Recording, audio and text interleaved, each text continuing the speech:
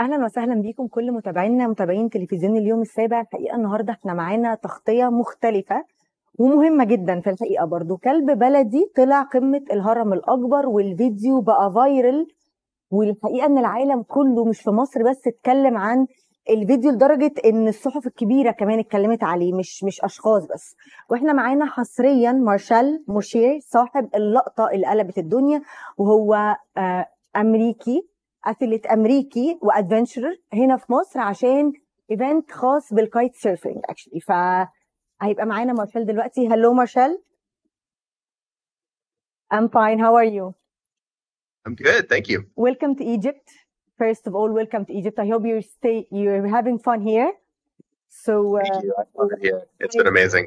yes good uh, I'd like to start with you I'd like to, to introduce yourself and what you're doing here in Egypt Of course. Uh, well, my name is Marshall Mosher. I am an American adventure sports athlete and paramotor pilot, which is why I'm here in Egypt. And we have a bunch of uh, friends from America as well as from all over the world, and a bunch of Egyptian friends that have come together to fly the pyramids. And uh, we just finished up that event yesterday and decided to add on some kite surfing to the end of the trip uh, through Big Days, a kite surfing company in Hurghada. So we just jumped on the boat uh, yesterday, and we're here on the Red Sea for a week of kite surfing now. okay this is not your first time here in Egypt obviously No, this is my fourth or fifth time. I've been coming to fly the pyramids every year since they started it about four years ago. Okay, it's a regular event for you here in Egypt. You're enjoying it, obviously. I love it. Well, paragliding and kite surfing are two of my favorite sports, and Okay. flying over the pyramids and kite surfing the Red Sea is about the best combination I can think of for those two amazing activities. It's one of the best places I've ever uh, flown and kited uh, is here in Egypt of everywhere I've been around the world. Okay, I'd like to jump to the viral video that you captured, actually. Um, tell us about the shot of the dog on the top of the pyramids. How did you see it? How did you adapt with it? Well, it definitely wasn't what we were expecting. So I've been coming to Egypt to paramotor over the pyramids for the past uh, four years, and we've been really amazed by the opportunity that we get to fly the pyramids and to share this experience with the world. So for the past four years, I've been really passionate about using this opportunity as a uh, a goal for people to learn how to paraglide uh, to come out to Egypt to get to see the pyramids from the sky. But in the past four years, we've never seen what we saw this time, uh, which kind of caught us off guard uh, a dog running around on the top. Um, I've seen dogs climbing up the sides of the pyramid during a tour. Um, I didn't know how high they go, and it seemed like they went all the way to the top. But we've never seen anything on the top before, so it was pretty surprising uh, and and funny to see something running around on the top. We're not allowed to get that close to the top of the pyramids. We want to make sure that we maintain a good distance for safety for both us and the preservation of the pyramids in case we were to have an issue. So we couldn't really tell exactly what was running around on top. Um, I assumed it was a dog. One pilot said he thought it was a mountain lion. Um, but when we zoomed in on the footage, we could tell it was a dog that was running around and, and barking at something. One pilot said it was barking at birds. Um, I think it was barking at us because dogs often chase us actually as we fly by or as we're launching. Um, and it was it was funny to see that there was uh, a dog who'd climbed up to see the the view with us. I could see how surprised you are. Actually, actually right now, I could see how surprised you are uh, so far. Uh, so tell me about your reaction at, at the same exact time. How did you, I don't know, how did you say to your colleagues in the airplane that, hey, there is a dog down there or, or what? Well, we we it's kind of hard to talk to each other while we're flying. Obviously, we, Okay. we do have radios, but uh, not everyone the radio. I, I think they're not allowed actually here in Egypt, so it, it's hard to communicate with each other. Um, but you know, we, we shake our legs as a way of waving because you know we're using our hands to to steer the paraglider. So we shake our legs to get each other's attention. That's kind of our version of a wave while flying. Uh, so we were doing that, and I think some people saw it, some people didn't. But when we landed, we were all talking about it, joking about how it was so funny to see a dog on top and and to figure out what it actually was. Um, but for me, flying over the pyramids isn't an easy thing to do. It's it's a goal that we've worked towards um, for for a long time to learn how to paramotor and to be able to come all the way for us halfway around the world to see this incredible view. Uh, so it's really special for us to be able to see you know the sunrise from the, the perspective of the top of the pyramids. And I was thinking how cool it was that that dog had also worked really hard to climb the entire pyramids to see that view with us as well. So it was kind of fun to share that moment with it. Yes, it's actually a, a great opportunity for you that you have captured. Uh, did you see the reactions on the shot from all over the world, from Egyptians?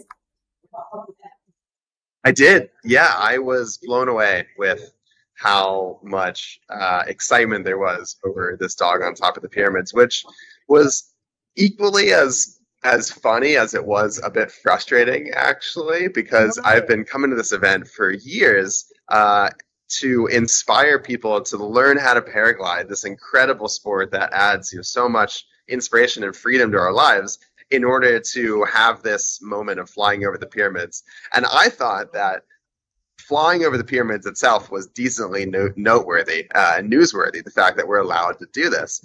But at the end of the day, what actually got attention to this incredible opportunity is a dog on top of the pyramids, which I think is hilarious and amazing. Uh, and I'm really glad to be a part of being able to have some lighthearted, inspiring news that hopefully will encourage people to learn how to paraglide and come fly with us next year, uh, or even come fly as a tandem. Um, a tandem means you fly with another pilot, so you don't have to know how to fly. Okay, when did you capture the video? Did you capture the video and just posted it on the same time, or you just tried to edit it, do anything with it? Um, not much editing. Uh, I I just added it with a clip from my Insta 360 X4 camera that uh, shows it shows my perspective while I'm flying with the clip, so that people could see not only our perspective of what we saw with the dog, but also see us as we're flying to kind of get a better understanding of it. And I posted that Monday nights after um, our first day at the pyramid. We fly Monday and Tuesday. We always fly at sunrise because the air in the morning is as smooth uh, as it's going to get all day. So we we saw it on Monday. Uh, we posted it. I really didn't think that it would get uh, much traction actually. And then when I woke up in the morning, it already had several million views. So that morning, as soon as we got to the helipad, our launch site at the pyramids, um, I made a video about how we were gonna go back up and see if we can find the dog if it's still there, because a bunch of people were worried that it might be stuck up there. Of course, I knew down. Um, but we we went to go back and find it the next morning. That was our first thing that we wanted to do. Uh, we did not see it there on Tuesday, so that evening I made another video about going to look for it, uh, which also uh, got several million views. Um, and then after that, I was actually put in touch with someone who had posted another video on Instagram of a dog coming down the pyramids that actually looked very similar to the dog that we saw on top. Now, who knows if it's the same dog? I'm sure multiple dogs climb to the top because there are hundreds of, of dogs who live out there, and a lot of them seem to like to run around on the pyramid. Um, but uh, when I got that video from uh, Lauren, we don't know if it was the same dog but um, it's cool to see that it has a pretty pretty awesome home. Okay, obviously this is the dog hobby to just climb up and down on the pyramids. So uh, actually, my question you answered it. The next question you answered it within you're talking about. Did you think or did you thought actually that this video would went like this viral? Uh, international uh, website, journals, everything are just writing and posting about the video, did anyone just call you, try to get contact with you, or still not yet?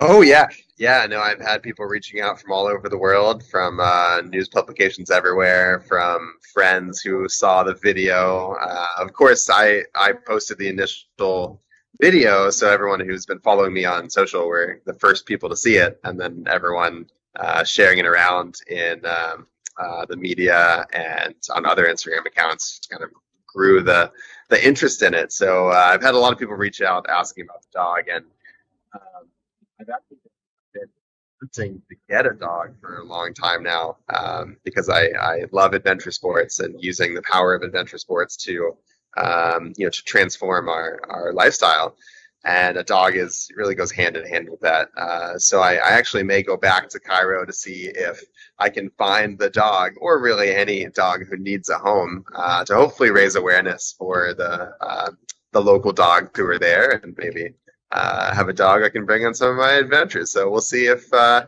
if I can find it. Okay, I, now I I could I would like to ask you actually if you find the dog, are you gonna take him home with you back to your, I- your country? I would love to if I can. I hear Yeah. it's a pretty hard process to bring uh, an animal back to America from anywhere else in the world, um, but there is a way to do it. So if if I can find the dog and if it if it needs a home, as long as I'm not taking it away from a good home already, uh, then I, I think I'm going to try and and bring it back with me. Okay, do you think that the dog is your luck charm now? Well, it's funny you say that because I had a very similar looking dog in Turkey following me uh, over 50 kilometers across a hike and fly paragliding race. It's a type of endurance uh, ultra marathon where we run and we paraglide. And there was a dog that followed me uh, almost the whole way on one of the days in that race, and I was I was wanting to actually take that back with me as well. Uh, but uh, uh, he actually was part of a farm and had a tag. He already had a home, but it was very similar to the movie that just came out um, called um, Arthur the King about the dog who follows the guy in the adventure race. And that day was actually one of my best days in the race. So I think, I think uh, adventurous dogs showing up is definitely uh, a good one. Okay, dogs following you is, uh, is your lucky thing actually nowadays. So good for you actually. Right. I so. Okay, I'd like And to ask you. back in the US takes his dog paragliding with him. So there's a way to make a dog harness that you can actually fly with your dog. So that'd be fun to come back next year and, and paraglide the dog over the pyramids. Okay, I think that you have a long journey when you uh, come back from uh, uh, to just find the dog and try to take him home with you. It's uh, gonna be a long process, uh, I guess. I- Finding it, It's- searching for him in, in the streets of the pyramids. Okay, I would like to ask you, did you visit any other places in Egypt aside of the pyramids and uh, Garda'a or just those two people? Just these two Yeah. places actually. We did. So the Sky One event is actually three different locations. The first location is the Fayum Oasis, where we Okay. paraglide there on the first day because it's a much easier and uh, very open, safe place to paraglide with no obstacles. So it's great for people to practice and warm up there. Then we go to the pyramids for two days, and then we go to Luxor for two days, um, Karnak Temple and some of the other popular sites in Luxor. And now the whole group is in Soma Bay, paramotoring the Red Sea. Uh, but a few of us who like to kite uh, decided to skip out on the Soma Bay flying and come to um, uh, Tawila to kitesurf on a big day's kite safari uh, with my buddy Marco, who was also one of the pilots flying on um, on the day we flew the pyramids. So that's where we are currently at Tawila Island. But yeah, we've got a chance. Yeah, Okay, I I'd like to know which one of the places is your most exciting one. well, I mean, look at the background right now. Come on, it doesn't it doesn't beat that. Okay, nothing beats that. uh, Okay. This is one of my favorite places in the world. Um, out at the islands right off the coast of Hurghada. Um, it's a really, really beautiful place for both kite surfing and scuba diving. So I think this is my favorite. But paragliding over the pyramids is definitely the most beautiful and just magical experience I've ever had while paramotoring. So that's definitely um, that's definitely up there. And this year we actually got the opportunity to paramotor at nights for uh, apparently what was the biggest nighttime air show uh, in Cairo. and we had our paramotors all lit up with lights. The pyramids were lit up with the, uh, the spotlight on the ground, and that was really special as well. Okay, this year in Egypt is so different from the other years that you came here in Egypt. So when you come back, when you went back to uh, United States, what would you tell your friends and family about this trip exactly? This trip, especially actually. well, everyone's asking about the dog. Um, so I'll definitely give them an update on that.